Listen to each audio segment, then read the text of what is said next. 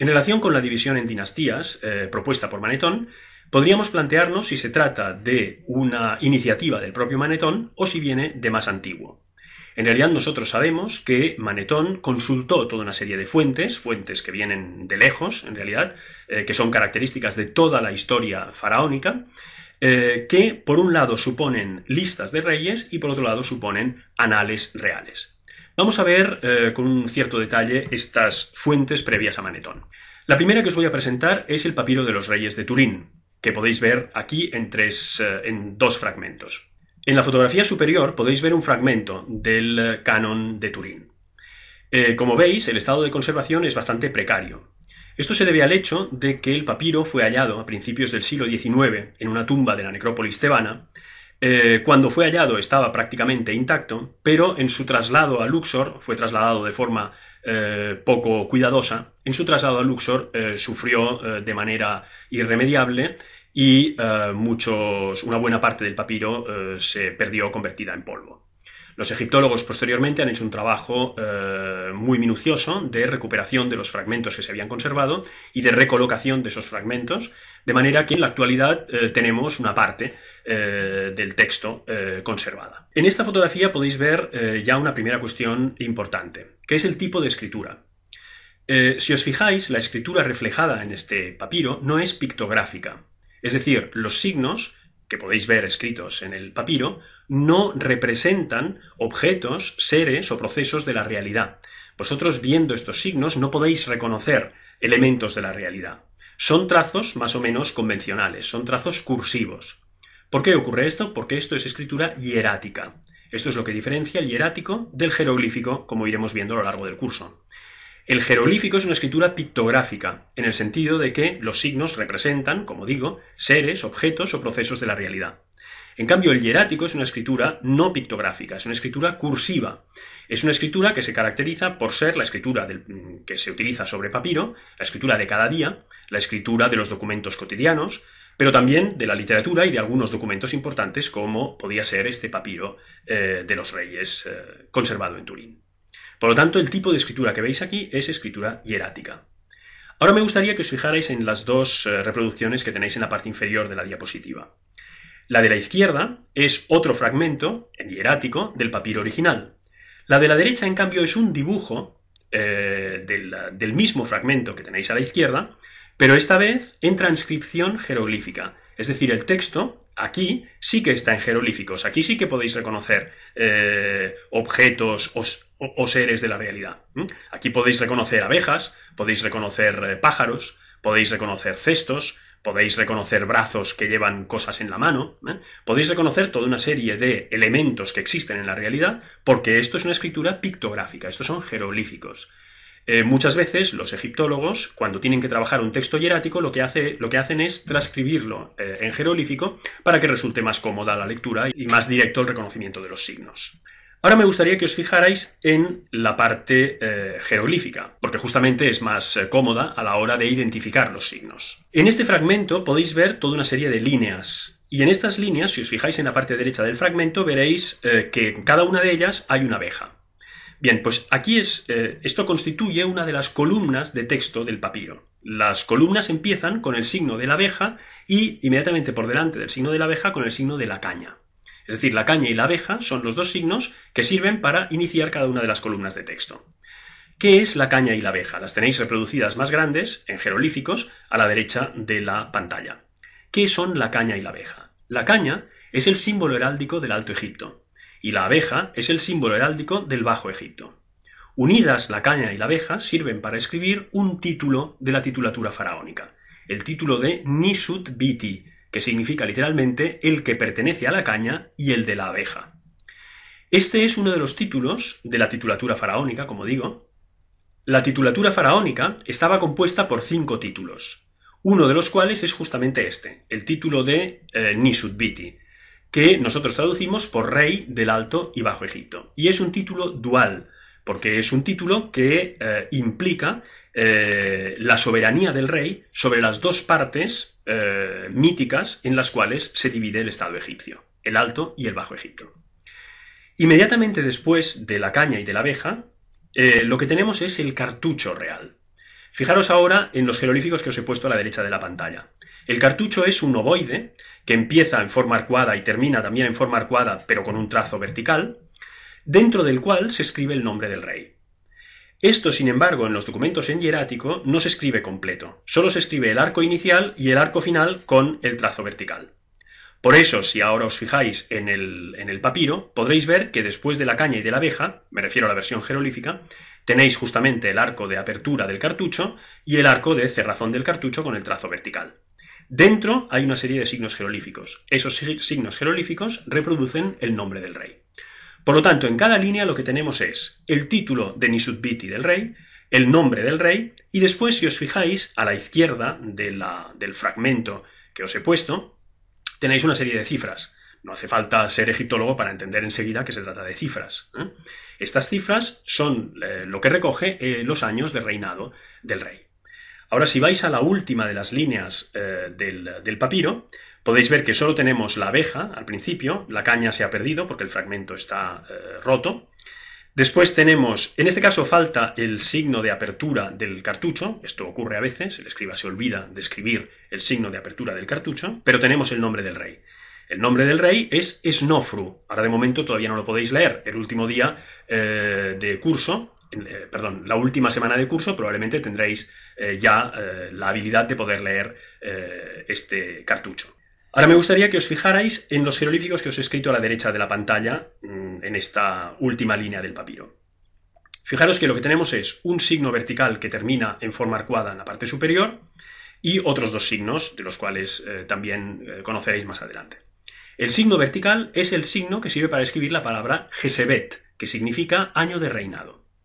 Ahora, si os fijáis en la línea eh, que estábamos viendo, después del nombre del rey tenemos justamente un espacio en blanco y después estos signos y dos arcos hacia abajo y cuatro trazos verticales. ¿sí? Estos dos arcos hacia abajo, eh, cada uno de ellos representa un 10, por lo tanto tenemos 20. Y los cuatro trazos verticales representan un 4, por lo tanto tenemos 24. Los años de reinado del rey Snofru son por lo menos 24, podrían haber sido 25, porque el papiro justamente está roto eh, justo ahí. ¿eh? No podrían haber sido 26 porque normalmente eh, cuando se trata del número 6, como podéis ver dos líneas más arriba, los trazos se escriben 3 arriba y 3 abajo. Por lo tanto, lo más probable es que los años de reinado registrados en el papiro, cuando estaba entero, fueran 24 o 25. Si os fijáis ahora en la versión original del papiro, la que tenéis a la izquierda, eh, podéis jugar a intentar reconocer los signos eh, jeroglíficos en los signos hieráticos. Os he de decir que en realidad la escritura jeroglífica y la hierática son lo mismo. Los signos son los mismos y se ordenan exactamente de la misma manera. Hay pequeñas eh, variantes eh, gráficas, como es lógico, porque la escritura hierática es una escritura cursiva y por lo tanto se escribe más rápido y entonces a veces los signos se pueden ligar, pero en general la filosofía que subyace a las dos escrituras es exactamente la misma. Lo único que cambia es que unos signos son pictográficos, se hacen de forma más cuidada, los jeroglíficos, y otros signos en cambio son cursivos, se hacen de forma más acelerada, eh, los hieráticos. Pasemos ahora a otro documento fundamental, las listas reales eh, de época ramésida. Las dos listas reales más importantes conocidas son las listas de los templos de Abidos. En Abidos, como probablemente muchos de vosotros sabéis, hay dos importantes templos de la dinastía 19. El templo construido por Seti I y el templo construido por Ramsés II. En el templo construido por Seti I tenemos una gran lista real, que es la que podéis ver eh, aquí en la parte inferior de la diapositiva, eh, con los eh, nombres de todos los antecesores regios del propio Seti I. Si os fijáis en la imagen, podéis ver que a la izquierda tenemos la representación del faraón con su hijo.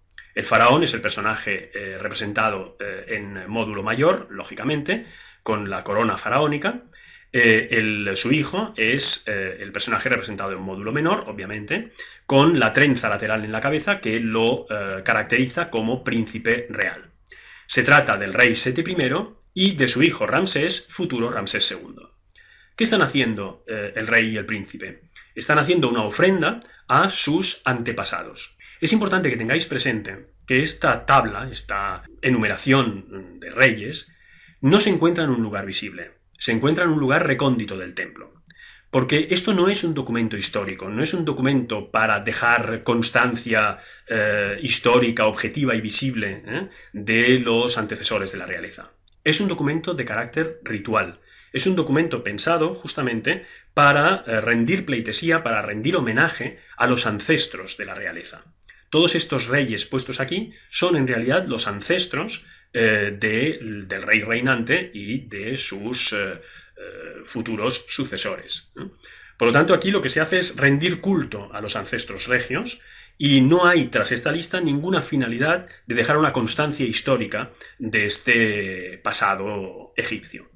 Esta es una característica que debéis tener muy en cuenta para comprender bien este tipo de documentos y para entender que normalmente se trata de documentos que se hallan en lugares inaccesibles, lo cual indica que no han sido hechos para ser vistos de manera habitual eh, por el común de los mortales. En la parte superior de esta eh, diapositiva os he puesto eh, fotografías de dos dinastías de reyes. Del número 15 al número 19 tenéis la tercera dinastía y del número 20 al número 25 tenéis la cuarta dinastía.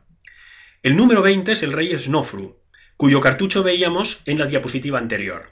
Entonces después, si queréis, podéis eh, entreteneros en comparar los dos cartuchos y veréis que son eh, idénticos y se trata, como os digo, del cartucho del rey Snofru, primer rey de la cuarta dinastía y padre del rey Keops. Por lo tanto, el cartucho número 21 de esta diapositiva es justamente el del rey Keops. Aquí está escrito Jefu, eh, ya sabéis que normalmente eh, el nombre egipcio es leído Jufu. Pero de estas cosas hablaremos también más adelante. La segunda lista que os presento es eh, la lista procedente del templo de Ramsés II, también en Abidos. Esta lista se conserva hoy en el Museo Británico, a diferencia de la anterior que sigue in situ en el templo de Seti I en Abidos. Me gustaría que os fijarais en la línea de cartuchos que se ven completos, es decir, lo que sería la segunda línea de la fotografía. El primer cartucho por la derecha, si os fijáis, eh, está roto por la parte inferior. El segundo, en cambio, ya está completo. Eh, si os fijáis, los primeros cuatro cartuchos contienen un escarabajo entre los signos jerolíficos. Estos cartuchos corresponden a los reyes Tutmosis II, Tutmosis III, Amenhotep II y uh, Tutmosis IV. Es interesante señalar eh, de entrada que entre los primeros dos, Tutmosis II y Tutmosis III, reinó, en la realidad histórica, la reina Hatshepsut, pero aquí no está consignada. Si continuamos, después del cuarto cartucho tenemos el nombre de Amenhotep III, en el que ya no hay un escarabajo. Y a continuación tenemos el cartucho del rey Horemheb, último de la dinastía XVIII. Entre Amenhotep III y Horemheb faltan todos los reyes de Amarna, Falta Amenhotep IV Agenatón, falta eh, Esmencare, Tutankamón y Ai. Todos estos reyes faltan eh, en la lista. ¿Por qué falta Hatshepsut y faltan los reyes de Amarna? Pues sencillamente porque estos reyes son vistos como heterodoxos en relación con el arquetipo de la realeza, y por eso no son consignados en las listas reales. Y esto os permite comprender otra cuestión muy importante eh, relacionada con la visión que los egipcios tenían del rey el, rey, la figura regia, debía responder a un arquetipo. Y si esta figura regia, por la razón que sea, en un momento determinado dejaba de responder a ese arquetipo, eh, esa figura regia era condenada. Se procedía a la damnatio memoriae, a la condena de la memoria. ¿eh? Se la olvidaba a esa figura eh, histórica. Por eso, en las listas reales, estos personajes, considerados heterodoxos desde el punto de vista del arquetipo regio, no son consignados. El siguiente documento que os presento es la llamada Piedra de Palermo. La Piedra de Palermo, como su nombre indica, se guarda hoy en el Museo de Palermo, en eh, Sicilia. Nadie sabe muy bien cómo llegó hasta allí, pero es un documento de una importancia excepcional. En realidad, como veis, es un fragmento, es un trozo eh, de piedra basáltica de un documento que debió ser mucho más grande y mucho más completo.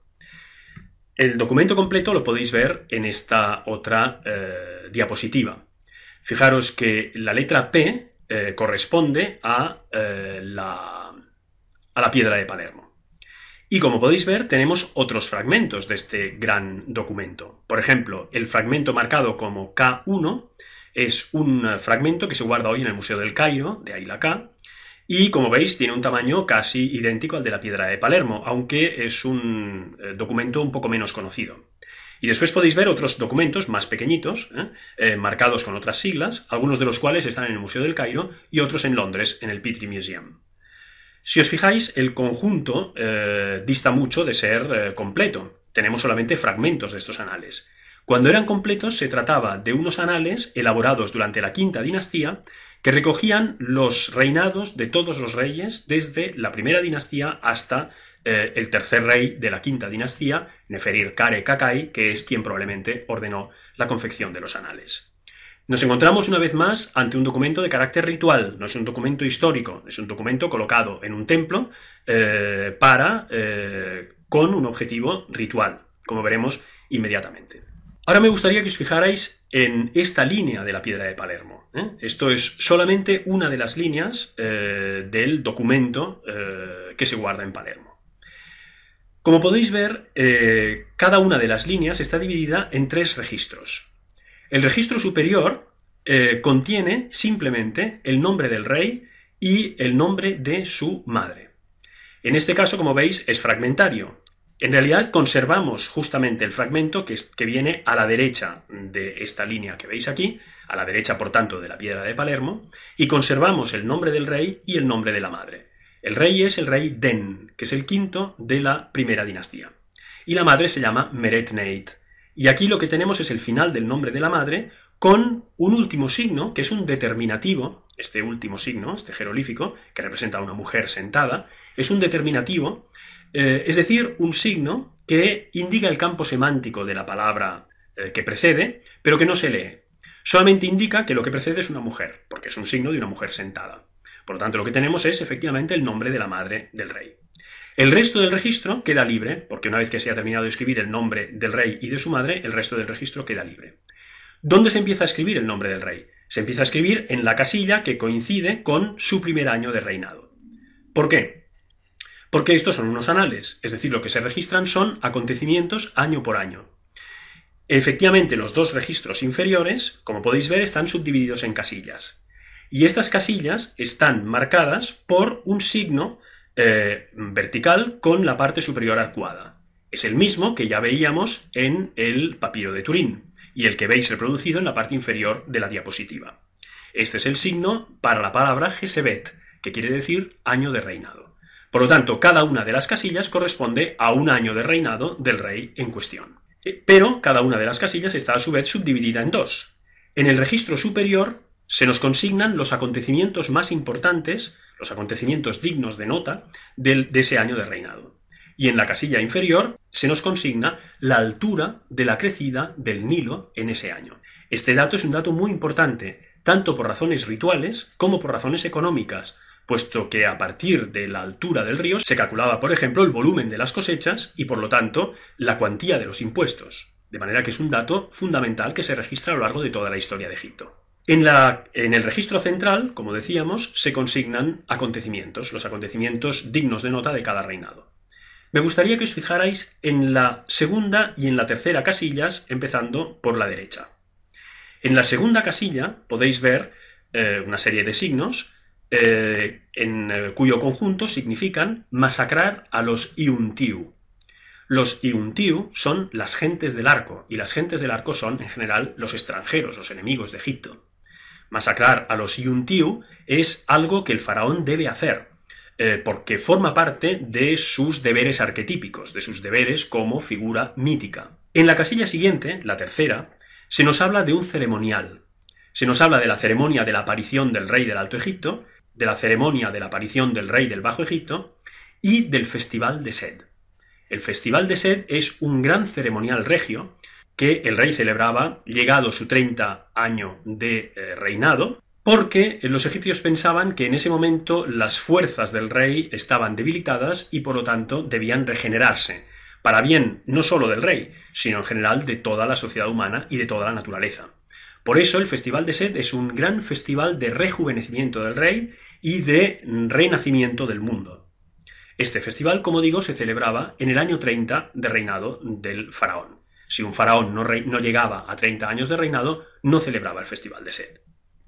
Es importante que tengáis presente justamente esto, que eh, la concepción egipcia del pasado bascula entre estos dos polos, el polo de lo arquetípico, de aquello que debe ser hecho porque forma parte de la esencia mítica de la realeza, y el polo de lo histórico, es decir, de la realidad eh, de los hechos.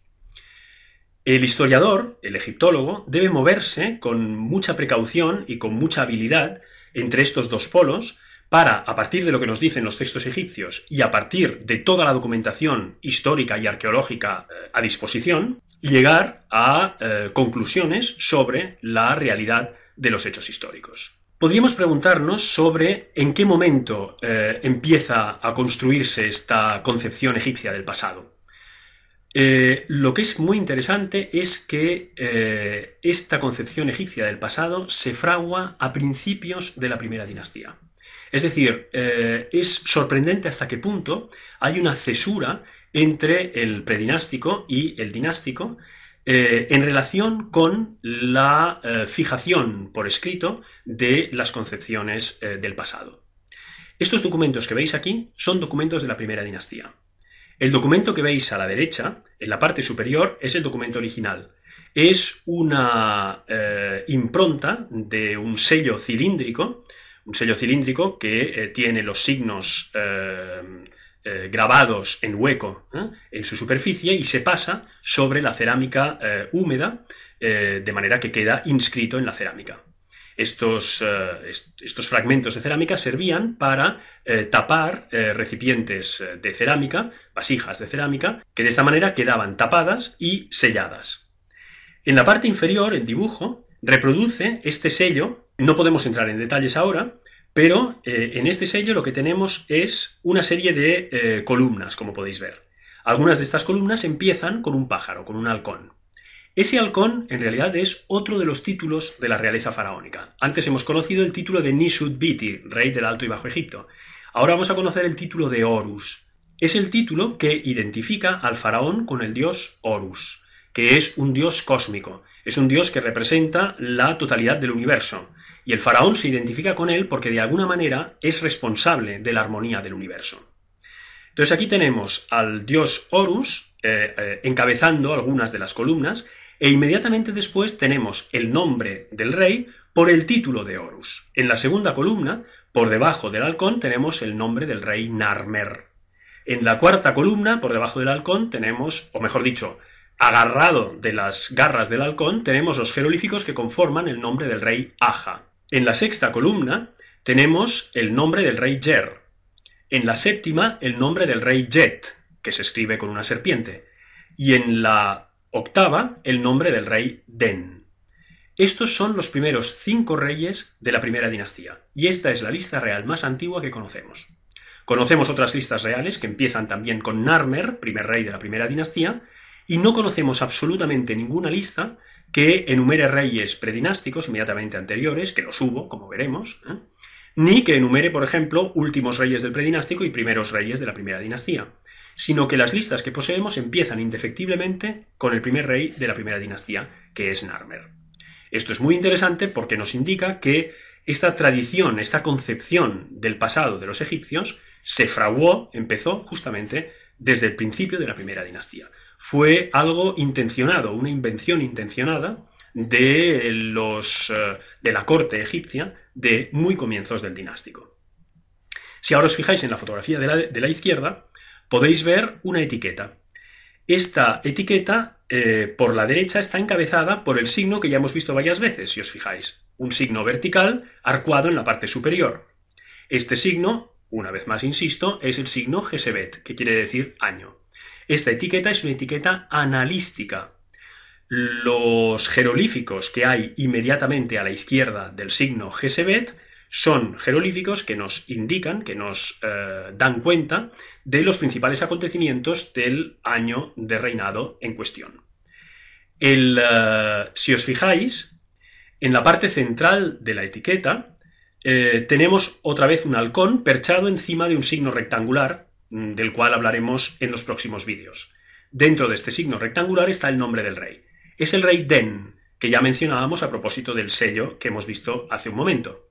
El rey Den es el quinto rey de la primera dinastía, el mismo al que nos referíamos cuando hablábamos de la piedra de Palermo, de la línea que os he explicado de la piedra de Palermo. ¿Qué quiere decir esto? Esto quiere decir que esta etiqueta nos señala eh, los acontecimientos principales de uno de los años de reinado del rey Den.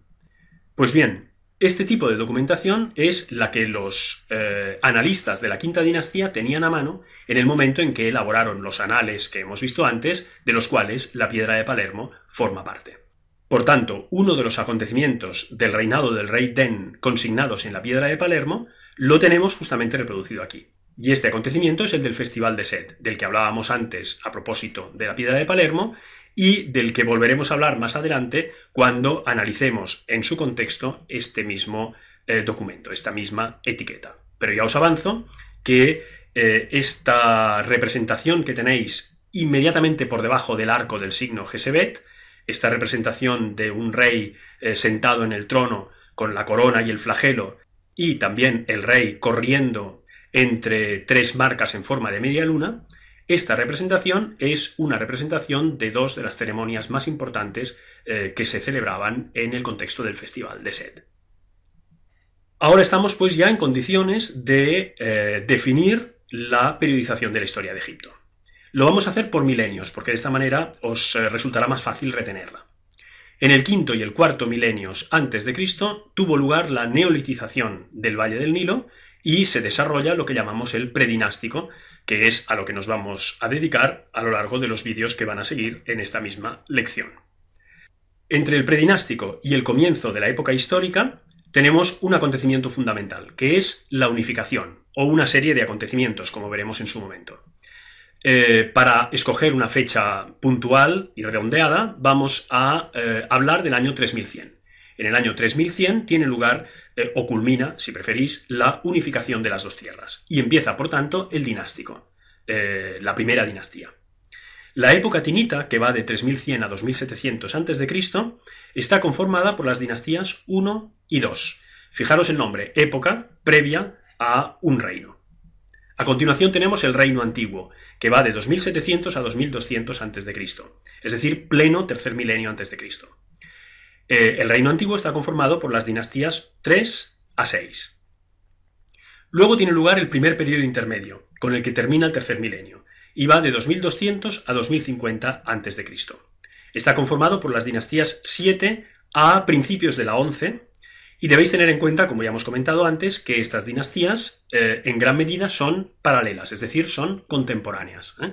Por tanto, no es que haya un gran lapso de tiempo, como podéis ver, sino que eh, los dinastas de esta época se superponen en gran medida. A continuación tenemos el segundo milenio. En el segundo milenio se desarrollan el Reino Medio, en primer lugar, desde el 2050 hasta el 1720 a.C., y abarca la segunda mitad de la dinastía 11 hasta la dinastía 13. Luego tenemos el segundo periodo intermedio, la famosa época de los Ixos, entre 1720 y 1550 a.C., dinastías 13 a 17. Y finalmente tenemos el Reino Nuevo, eh, desde 1550 a 1080 a.C., dinastías 18 a 20. Finalmente, en el primer milenio nos encontramos con el tercer periodo intermedio, que va de 1080 a 664 a.C. y que abarca las dinastías 21 a 25. La baja época de 664 a 332, fijaros, palabra época, porque ya estamos al final de las seis etapas centrales de la periodización, de la dinastía 26 a la 30, y la segunda dominación persa, que para Manetón constituye la dinastía 31, pero que nosotros eh, preferimos denominar eh, simplemente segunda dominación persa, Finalmente, la conquista de Egipto por Alejandro, que tiene lugar en el año 332 a.C., y ya a partir de aquí la época greco-romana, que dura desde el 332 a.C. hasta el 395 después de Cristo, que es el momento en que el Imperio romano se separa definitivamente entre Imperio romano de Oriente e Imperio romano de Occidente, y por lo tanto Egipto queda dentro del ámbito del Imperio bizantino.